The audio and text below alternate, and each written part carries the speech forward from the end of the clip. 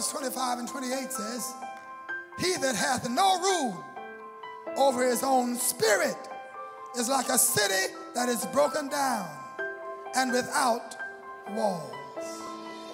Broken, subdued, conquered.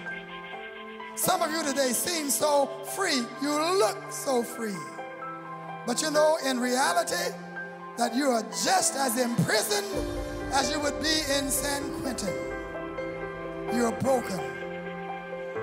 You're subdued. Well, the word broken can also be applied to situations where one is bankrupt and one is penniless. And in many situations, people determine your worth by the amount of money that you have. And if you're broke, you're not worth anything to them. Then on the other hand, there are many people who are broke in other words than by mere lack of funds. They're broke because they don't have anything that anybody else values. They're broke because they don't have anything that anyone else feels is worthwhile. No attractiveness, no talent, no skill. And they feel emotionally and they feel mentally bankrupt. They have no resources then also, I'm sure you've heard of mental breakdowns, where people break under the stress and the strain of life.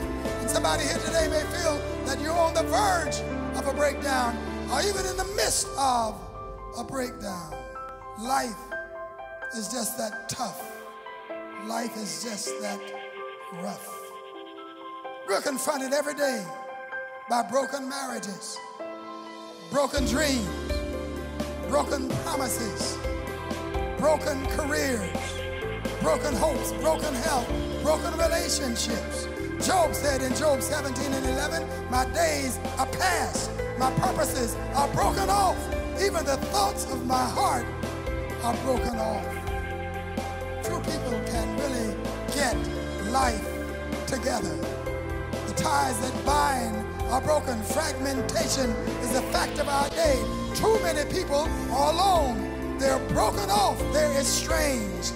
And when you're broken off, you're separated from that to which you belong, like a limb broken off from a tree.